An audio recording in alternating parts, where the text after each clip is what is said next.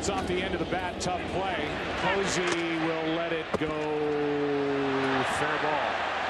Base hit for Bradley, and that's four in a row. Looked like it was going to turn left, and it stayed right on the line. And Bradley will take it.